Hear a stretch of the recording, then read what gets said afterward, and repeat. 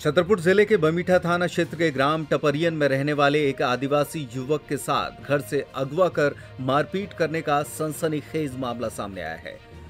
जानकारी के मुताबिक टपरिया निवासी दशरथ आदिवासी जब 6 अक्टूबर को अपने दरवाजे पर बैठा था, तभी गाँव के सुदामा पटेल, कमलेश पटेल और अजय पटेल उसे गाली गलौज कर एक अल्टो कार में उठा कर ले गए और फिर गाँव के बाहर ले जाकर बुरी तरह पीटा।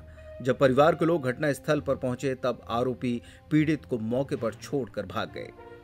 मंगलवार को जनसुनवाई में पहुँचे दशरथ आदिवासी के परिवार ने पुलिस अधीक्षक को अपनी फरियाद सुनाई है। जैसे हमारा लड़का घर है तो घर से जितना कह रहे कि जो नेकरन चाव सो माँ ले गए जे बिठा रखे आल्टो में। और हम भी अंदर घुसे, हैं? अब अंदर घुसे, हम हम नहीं देख रहा कि हमारा लड़का कहाँ गाओ जब सुने कि लड़का कहाँ गाओ लड़का कहाँ गाओ तो तम ऐसी में लगा तो तम छिपरियानी छिपरियानी फिर पकड़े वो चले गए। तो तम गाँव में ले गए। गाँव से तुम ढट्टी बाँध के ले आए लड़का के। तो फिर वो का चल ले आवे। जी ऐसी दशा करे जी हमारे लड़का की। कौन से थाना लगा बमीठा। बद दरवाजे के बाहर से तीनों लोग उठा के ले गए हैं। कमलेश पटेल सुदामा पटेल और अजय पटेल। तीनों अल्टो में मुँह बंद करके ले गए हैं। हमको कोई पता नहीं कहाँ पे ले गए हैं लोग। ठीक है फिर हम लोग नहीं आया है वो तो हम थाने गए हैं थाने में रिपोर्ट दर्ज की है हमने।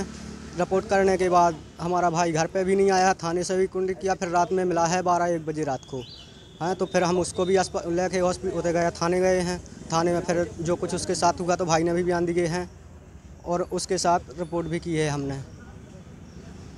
कौन से थाने का मामला है? बमीठा थाने में की है हमने रिपोर्ट। क्या नाम भाई का? भाई का दशरथ है नाम दशरथ आदिवासी। मनीराम आदिवासी पिताजी का नाम है भाई का नाम है लक्ष्मण आदिवासी।